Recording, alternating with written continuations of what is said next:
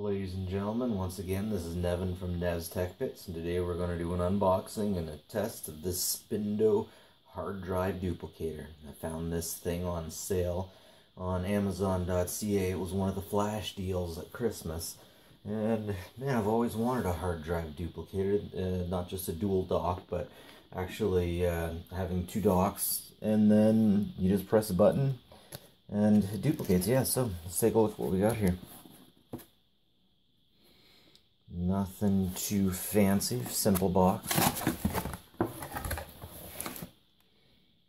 Uh-oh, European power. USB 3.0.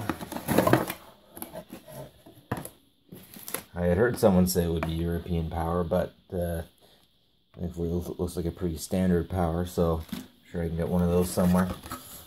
I'm liking the look of it so far. Brick.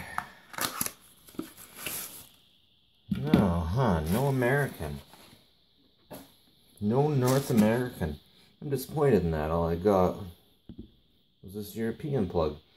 But again, since uh, it's that standard size, come on, autofocus, I can get that. I got one of those kicking around somewhere. It's just a pain in the ass that I have to find it. Pretty sure I paid 40 bucks for this. Shrink wrapped plastic. Very nice.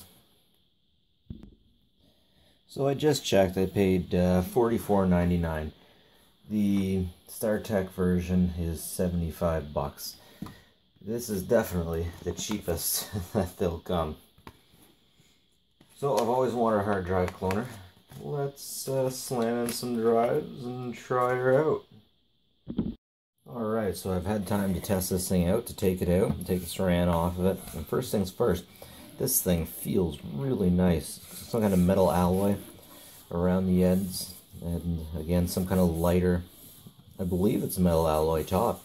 I like that. Uh, this is one of the cheapest ones I could find, but it also feels the sturdiest, which is really nice, of course. So, just throw it out there. I have issues when I turn it on and then plug the drives in. Oh yeah, and that's going to make a fool out of me now. There we go. Okay, so I get the first one to work. That's what happened in the basement, or when I was downstairs, sorry. If I turn it on without anything in, and plug two drives in, nothing. I can usually get one to work.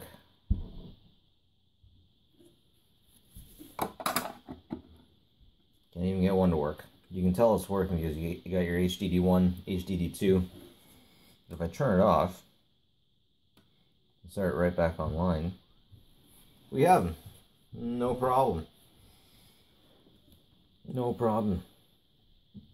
So, if we want to clone, what we do is we press and we hold this button right here. That's the clone button. Here, here's a better view of uh, the buttons. But anyways, press and hold this for three seconds and it'll start cloning. You see that little blue light going back and forth? You know it started cloning. Anyways, I was using this last night to clone a drive. I waited for about a half an hour and it wasn't even at 25%. So, mm, you what? Maybe this will be the test. Let's see how long it takes. Okay, so right now we're an hour into this trial and we're over 50%. So this is definitely one of the slower ones I've used before. I, I'm pretty sure that by now I could have backed it up with Macrium Reflect and uh, cloned it right over, but uh, this is a one-touch thing.